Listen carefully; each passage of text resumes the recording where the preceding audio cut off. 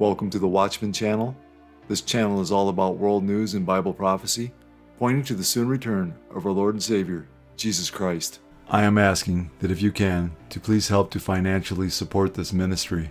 If you feel led to pledge any amount of money, it would be extremely helpful and greatly appreciated. There is a PayPal link in the description box and in my pinned comment below. You can also donate using Cash App. My cash tag is dollar sign Watchman 1963.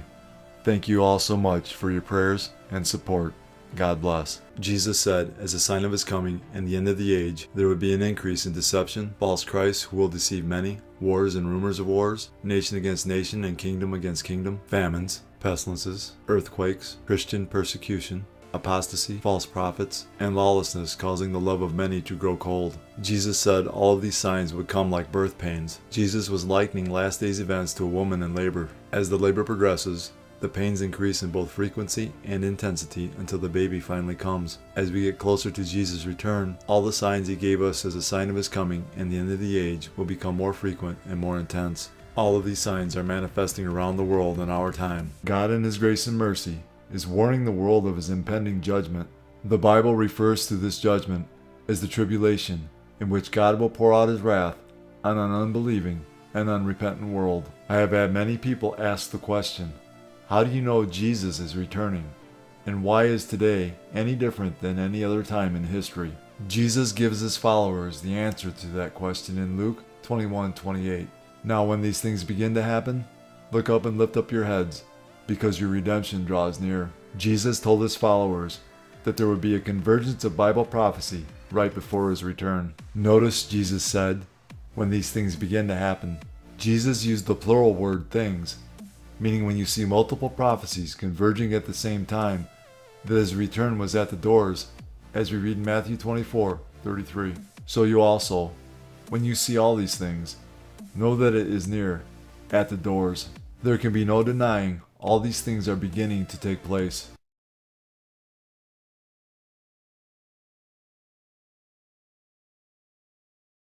A country devastated.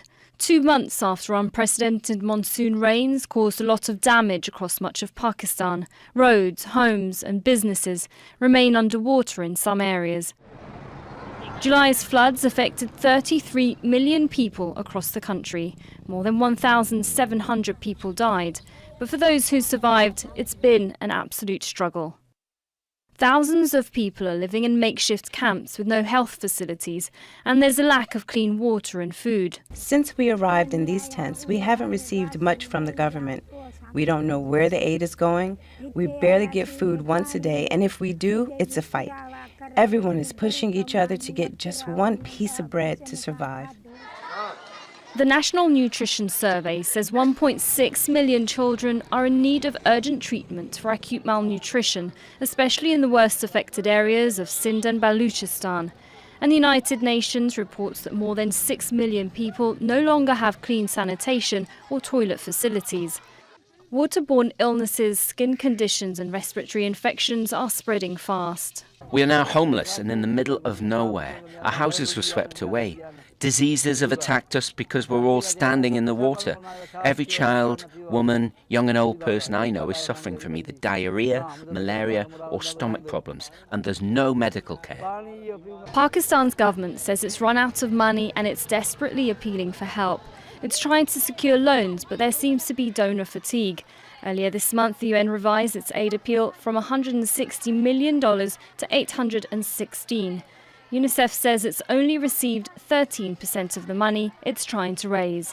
The historic flooding caused around $40 billion in damages. Jesus prophesied of future plagues associated with the last days, as we read in Luke 21:11. And there will be great earthquakes in various places, and famines and pestilences, and there will be fearful sights and great signs from heaven. Worried parents are bringing their children to this clinic for treatment. As the cholera outbreak spreads, the very young are among the most at risk. Maintaining stocks of life-saving medical supplies is vital to preventing further deaths. Malawi's cholera crisis began in March after a series of tropical storms. The destruction of infrastructure and contamination of water supplies caused an outbreak that spread across the country. Cholera is also on the rise elsewhere in the world. particularly in Haiti and Syria. The World Health Organization is calling for more resources to deal with the crisis. The number of outbreaks has forced them to lower their treatment standards from two doses of vaccine to a single dose. We can't end the pandemic because we're not prepared collectively to put in place the basic human rights of water and sanitation and basic immunisation in those areas at risk. Uh, and it's a sad day for us to have to go backwards to go to a one dose strategy, which is life saving. It's an emergency measure. Uh, we shouldn't have to do it, and it is purely based on the availability globally of vaccine. Malawi is doing what it can to contain the outbreak, but it's a race against time. Rainy season is set to begin in November, creating conditions when diseases like cholera can spread even faster. Psalm 107, 33 and 34. He turns rivers into a wilderness, and the water springs into dry ground, a fruitful land into barrenness, for the wickedness of those who dwell in it. After a year of brutal drought this winter, NOAA is predicting warmer temperatures in much of the country and below normal pre uh, precipitation in the nation's southern half. That's bad news for the Mississippi River, whose levels are at historic lows. It's an absolutely heartbreaking sight. Mississippi riverbeds, now riverbanks, as a result of this deepening drought. On a typical day, the water line for the Mississippi should be anywhere from 15 to 20 feet above my head. But today, this massive river is now running dangerously low.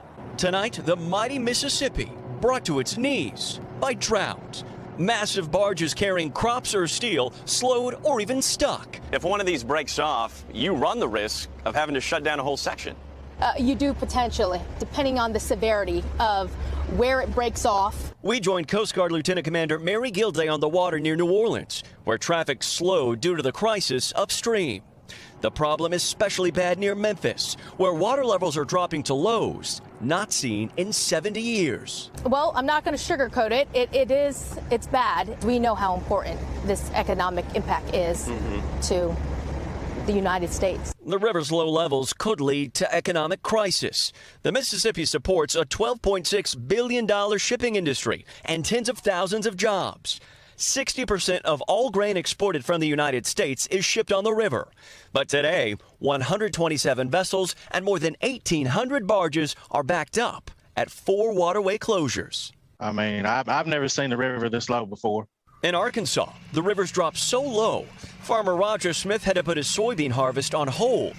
Now, unable to wait any longer and without a storage facility, he can't use the river to move his crop. Causing us to to even lose money, you know, on the crop that we grew. Smith estimates he'll take a nearly $40,000 loss. Back on the water. With the uh, the current forecast, um, I don't see it getting any better. A problem that deepens as a river disappears. Surviving in Somalia's Baidoa city has turned into a dire challenge. Hundreds of thousands of people have poured into the city after severe droughts made their remote villages unlivable. The influx is overwhelming the city, but displaced families say it's better than what they left behind. With nowhere else to go, the United Nations says displaced communities have set up hundreds of scattered camps themselves. Mohammed Adam is struggling to make ends meet. He's been searching for work all day helping people move their belongings. He cares after his mother and younger brothers, but on a good day, he says he earns less than $2. I'm out here from early morning till night. This is the only work I've got. I wish I had better options. The Somali currency, the shilling, is also struggling. Look at our currency, it's worth nothing. This entire bundle of cash is just worth about $40. International aid doesn't always reach those who need it most. The desperation is palpable. Faced with the worst drought in 40 years, scenes of poverty and hunger are becoming more common. Amina is among thousands who beg for food, hoping for sympathy. I have not eaten anything for two days. I've been begging for food, but often there's no response. It's yet another crisis for the government, which is already facing political instability, armed groups, and a weak economy. Roughly 70% of adult Somalis don't have jobs, and for now, there's little hope things will improve soon. We are fast approaching a time known as the tribulation, that Jesus says will be the worst time in human history, as we read in Matthew 24 21. For then there will be great tribulation, such as has not been since the beginning of the world until this time, no, nor ever shall be. We are currently witnessing events that will continue to become more frequent and more intense until God pours out his final judgments on an unbelieving and unrepentant world. One of the judgments described in the book of Revelation includes the price of food being so high and scarce that it will cost a full day's wages just to barely get enough to eat, as we read in Revelation 6 5 and 6.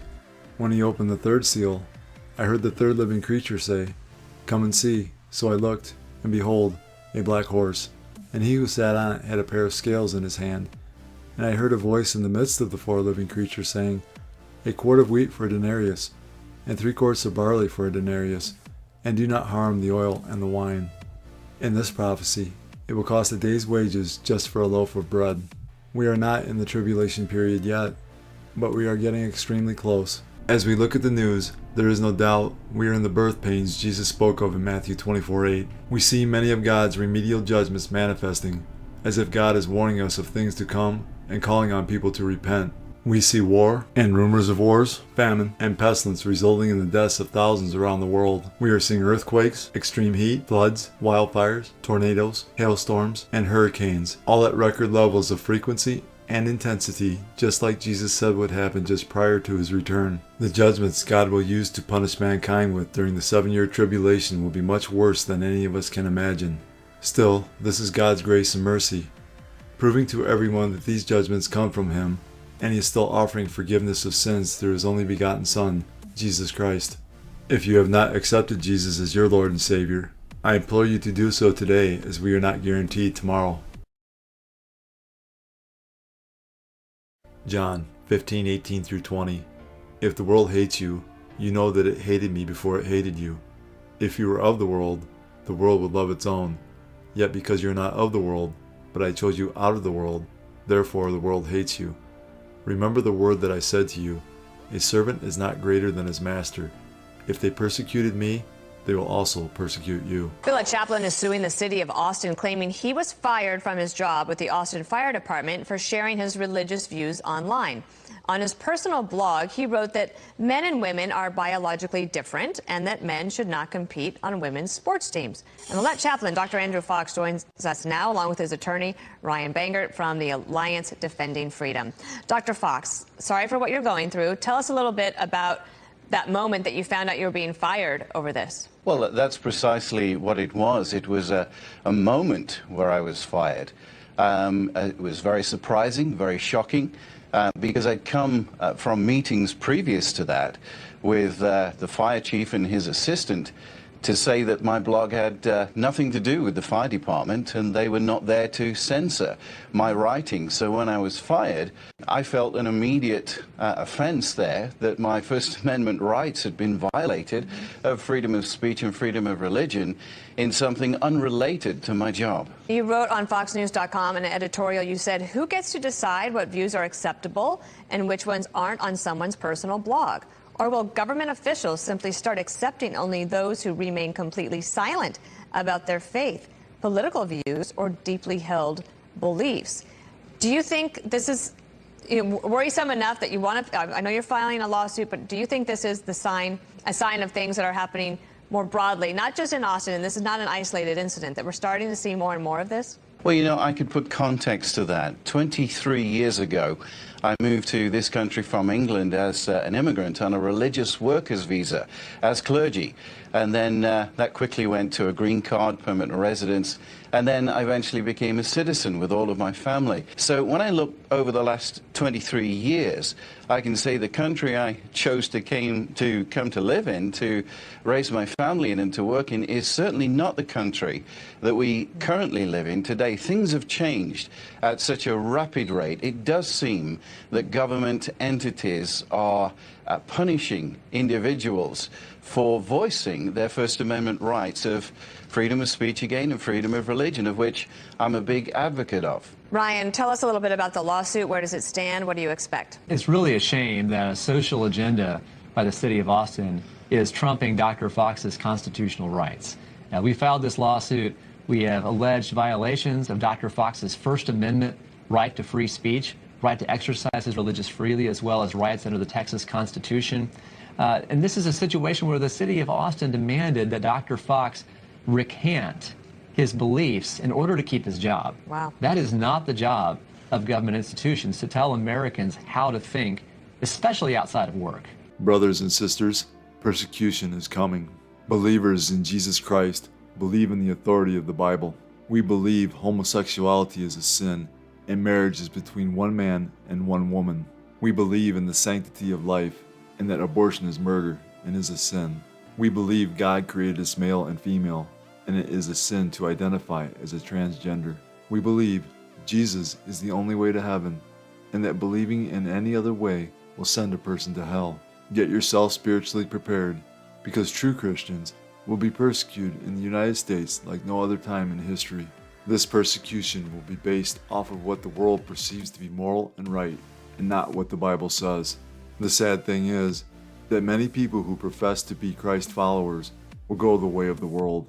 These professing Christians are called lukewarm in the book of Revelation and are not saved. The world will persecute true Christians, and Scripture tells us the lukewarm Christians will persecute them as well, as we read in Matthew 24 9 and 10. Then they will deliver you up to tribulation and kill you, and you will be hated by all nations for my name's sake. And then many will be offended, will betray one another, and will hate one another. Many who professed faith in Jesus as the Messiah in easier times will deny him and cooperate in exposing those who are true believers. The external hatred from the world puts all true believers in Christ under pressure. This in turn produces internal hatred among the professing Christian community during the tribulation. When the pressure comes, those who are not genuine believers will do three things fall away, deliver up one another, and hate one another. Matthew 24 9 and 10 lay out a future time of great persecution for true believers in Jesus. Many in the church will avoid this persecution by betraying fellow disciples in Christ to the persecutors. Persecution is coming. Remember to pray for our persecuted brothers and sisters in Christ. Remember the prisoners as if chained with them, those who are mistreated, since you yourselves are in the body also. Hebrews 13:3, 1 Corinthians 12:26.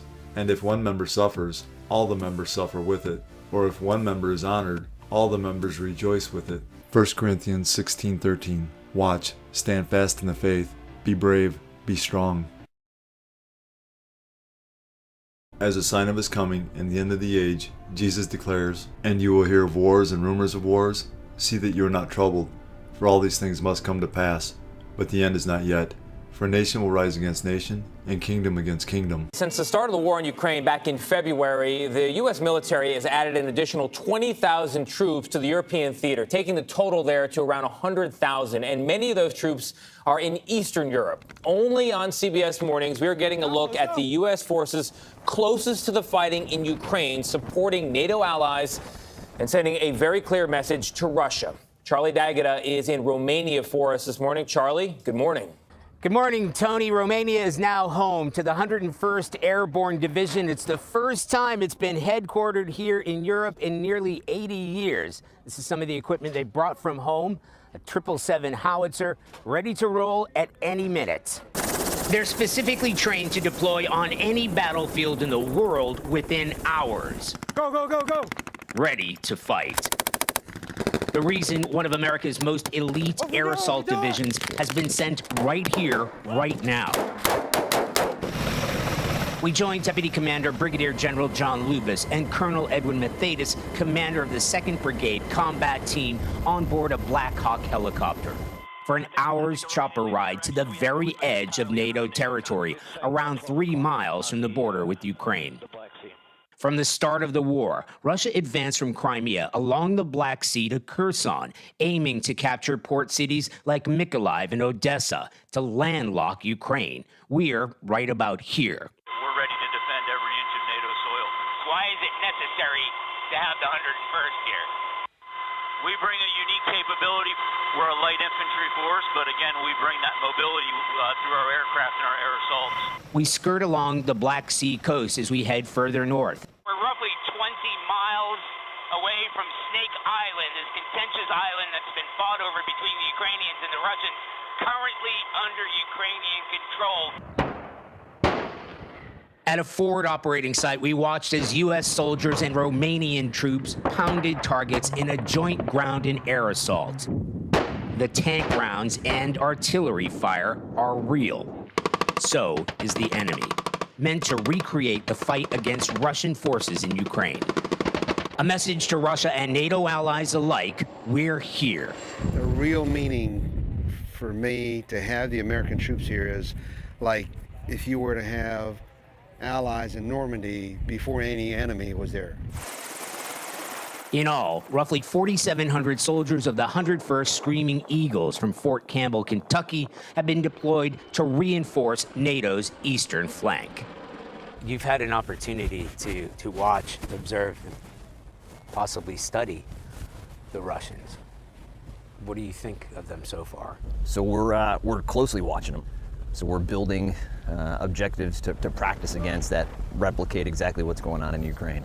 We're the closest American unit to the fighting in Ukraine. And what does that feel like? What does that mean? It, uh, it keeps us on uh, keeps us on our toes, right?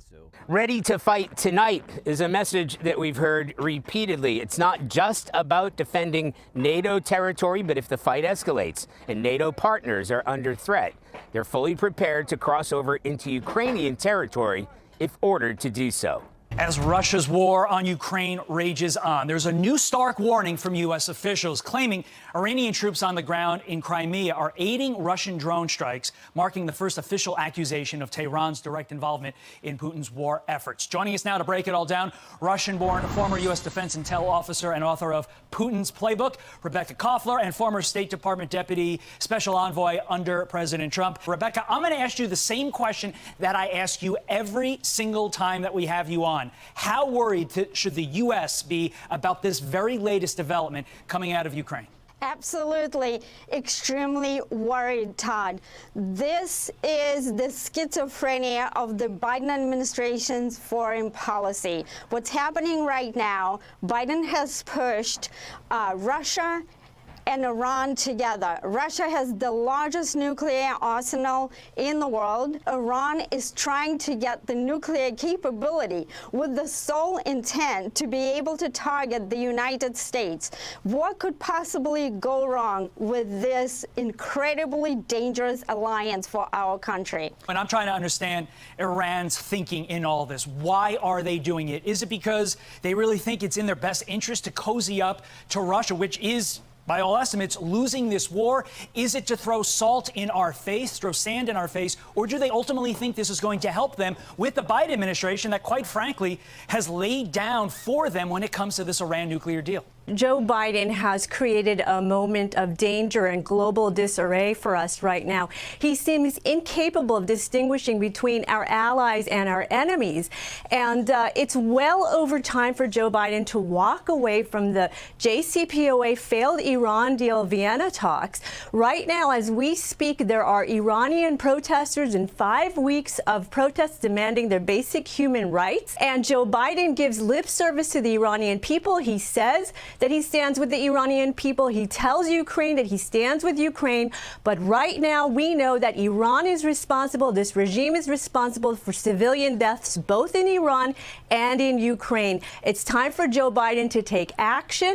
And, uh, and we really need him to take action in order to put uh, greater global security for people all around the world. Rebecca, when we spoke earlier this week, the topic was will Russia use some sort of nuclear explosion in some way, shape, or form. Unclear what that would be, but the question is, will they? I can't imagine, as we get to the end of this week, involving Iran, which we're all fearful is a nuclear terror organization to begin with. I can't imagine that your thinking on that has improved so that we are like can all relax all of a sudden. Am I right? Well, absolutely, Todd. Joe Biden himself admitted that he brought us on the brink of a nuclear Armageddon. When you bring Iran into the mix, and Iran effectively is becoming an active combatant in this war, uh, Russia can benefit from Iran's ballistic uh, missile capability, which is the most robust in the region. Like Ellie said, I 100% agree with her. It can have global ramifications. Luke 21, 26 through 28. Men's hearts failing them from fear and the expectation of those things which are coming on the earth, for the powers of the heavens will be shaken. Then they will see the Son of Man coming in a cloud with power and great glory.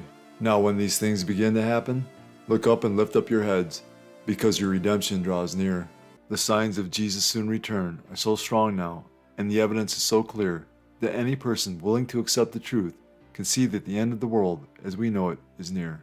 For God so loved the world that he gave his only begotten Son, that whoever believes in him should not perish, but have everlasting life. For all have sinned and fall short of the glory of God. But God demonstrates his own love toward us, in that while we were still sinners, Christ died for us. For the wages of sin is death, but the gift of God is eternal life in Christ Jesus our Lord. That if you confess with your mouth the Lord Jesus and believe in your heart that God has raised him from the dead, you will be saved. These are the ABCs of salvation. A. Admit that you're a sinner. B. Believe in your heart that Jesus Christ died for your sins, was buried, and God raised him from the dead. C.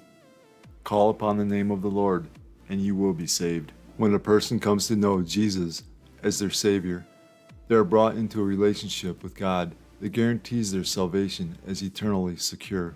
To be clear, salvation is more than saying a prayer or making a decision for Christ. Salvation is a sovereign act of God whereby an unregenerate sinner is washed, renewed, and born again by the Holy Spirit, as we read in John 3:3 and Titus 3:5. Jesus answered and said to him, Most assuredly I say to you, unless one is born again, he cannot see the kingdom of God. Not by works of righteousness, which we have done, but according to his mercy he saved us, through the washing of regeneration and renewing of the Holy Spirit.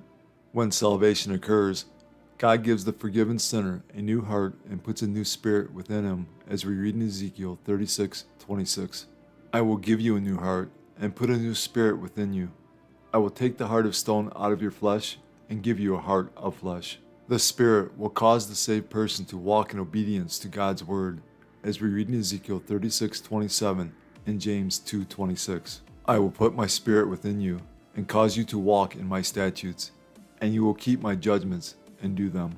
For as the body without the spirit is dead, so faith without works is dead also. So what about repentance? Repentance is not a work we do to earn salvation. No one can repent and come to God unless God draws that person to himself.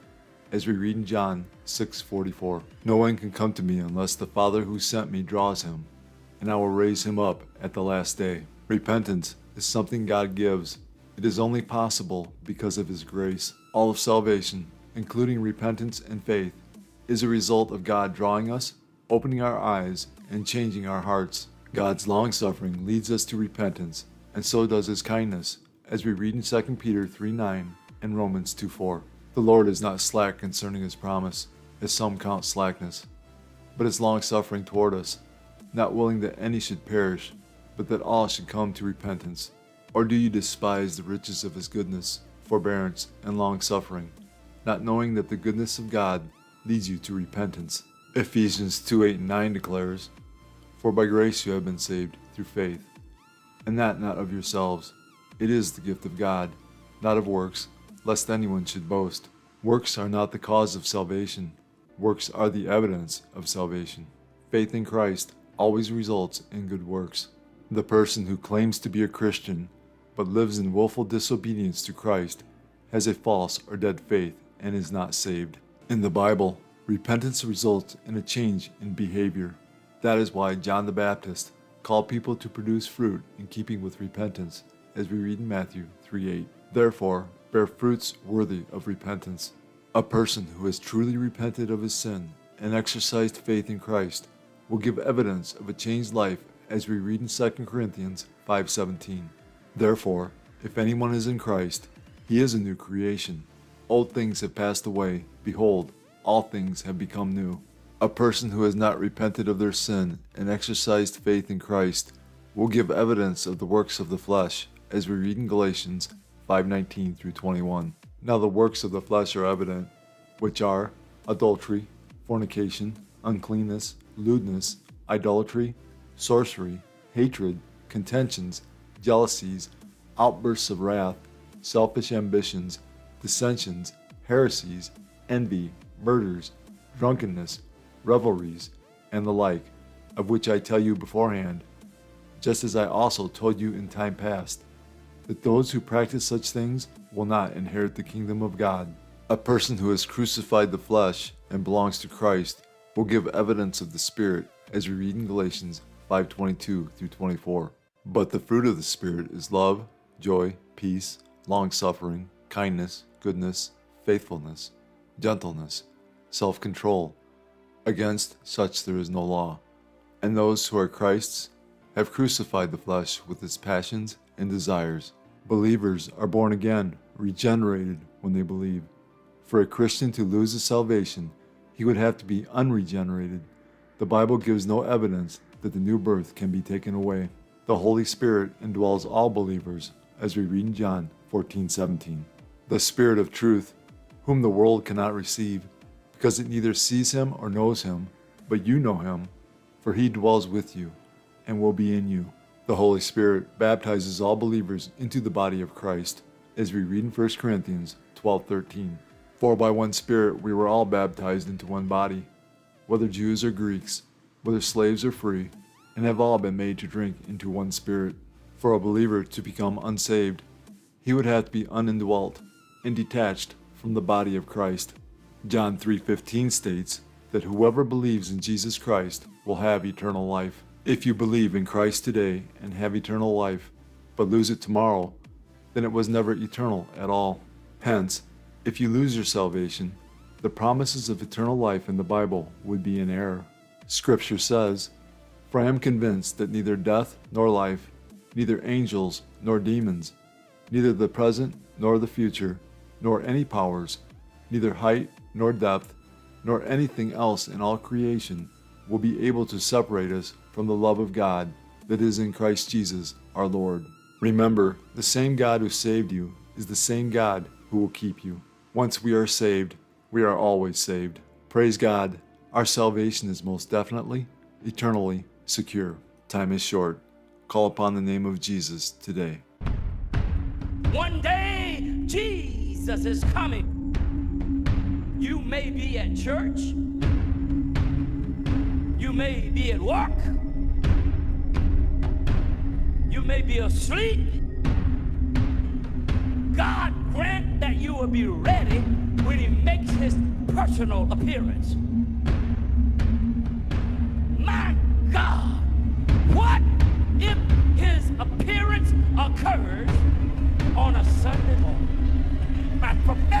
Word to you this morning is get ready, get ready!